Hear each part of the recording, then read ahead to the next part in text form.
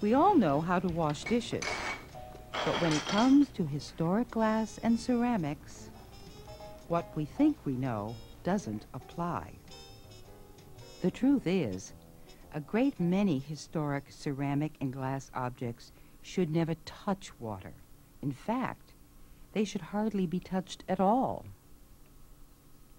Don't wet clean objects that have gilt, luster, or painted surfaces, ceramics that aren't glazed, deteriorated objects, or objects that have been repaired. Skillfully done repairs can be difficult to detect, but water will find these hairline cracks and start undermining the repair. When in doubt about wet cleaning, don't.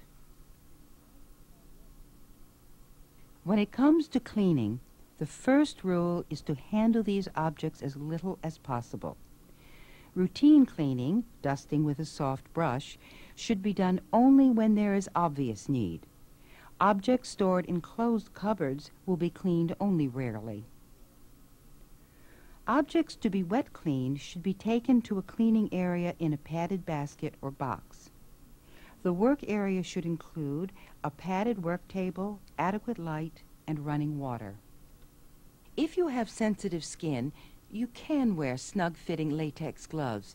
Otherwise, for sure handling of ceramic and glass objects, don't wear gloves.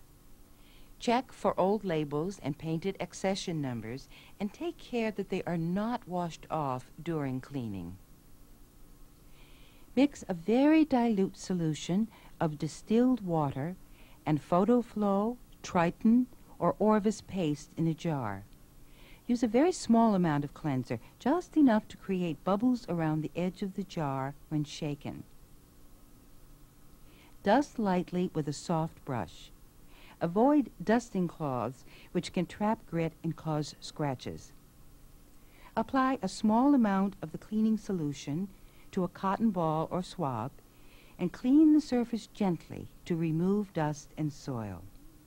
Replace cotton swabs as they become soiled and be careful not to scratch the object.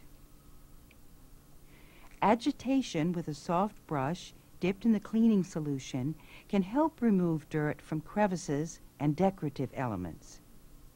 Finish using a cotton swab dampened in distilled water to remove detergent residue which will attract dirt. Dry with a clean, dry, lint-free cotton cloth.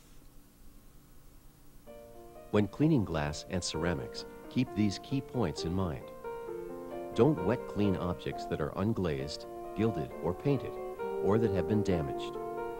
Clean as seldom as possible. When you do clean, use a soft brush. If wet cleaning is necessary, use a very dilute solution of detergent.